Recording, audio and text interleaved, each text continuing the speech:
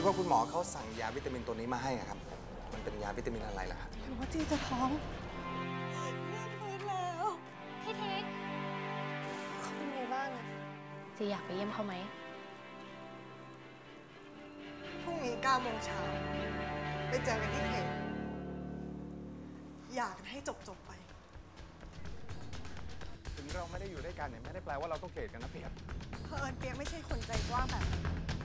วัตรท้องกับชยัน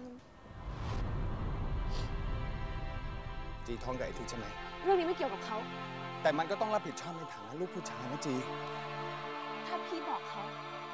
จีจะพาลูกหนีเราจะไม่มีใครได้เจอจีอีก แต่เด็กต้องมีพ่อนะจี พอฉันจะเริ่มต้นกับจีเนี่ยแกก็รับไม่ได้ทั้งๆที่แกก็มีคนอื่นอยู่ อย่างนี้เขาเรียกว่าห่วงก้างหรือเปล่า ผมไม่ได้ห่วง